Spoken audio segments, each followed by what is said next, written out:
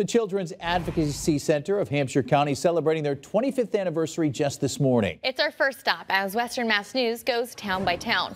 The celebration breakfast was held from 7 to 9 a.m. at the log cabin in Holyoke, and the event was sold out and featured guest speakers. The breakfast also launched a new annual award, the Linda Pisano Award for Excellence. It's named in honor of Linda Pisano, former longtime head of Child Abuse Unit at the Northwestern District Attorney's Office. Congratulations to Linda.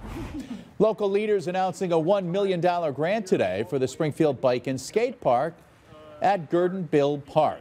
Springfield selected by the Commonwealth of Massachusetts and the National Park Service to receive the funding.